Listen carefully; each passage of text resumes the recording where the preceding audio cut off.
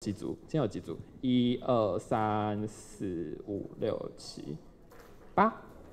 八，对，今天有八组报告，这样子八乘五等于四十分钟。现在要填的话都可以填哦，就是对，就是如果还有什么想要报告的话，就是都可以，就要填要快这样子。好，那话不多说，我们先欢迎第今天的第一组，就是 Tiff，Tiff 要来分享他的公民科技专案手册。好，那欢迎 Tiff。好。今天因为我们今天就是在现场邀请大家 review 嘛，然后很感谢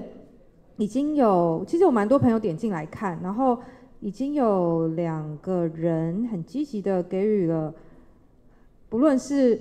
错字上，或者是文具通顺上，或者是像 Jimmy，他今天就很明确跟我说，他看了我们有了用了一份叫做数位公民素养，哎，之前其实在。几场黑客松，有跟大家分享，我们弄了一个素养应该包含什么样的内涵，然后他就有提到说，因为不知道大家认不认识居民，他就是那 Nativism 的那个创办人，在做网络行动科技，他们公司叫网络行动科技，然后就说他其实在这十五年在做公民科技相关的创业的过程中，他觉得工程师有没有职业道德 这件事情很重要，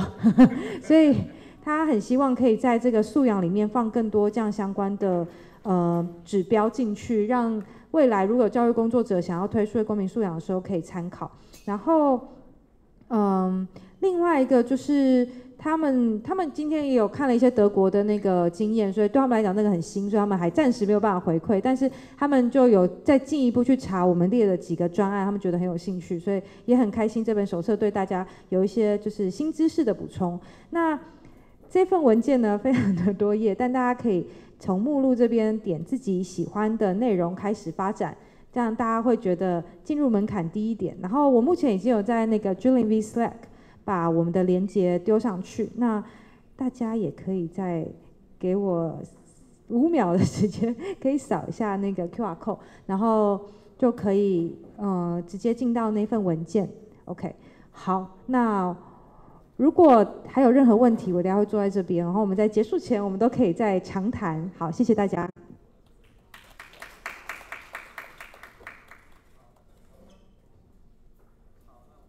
好，那我们感谢 Tiff。那下一组的。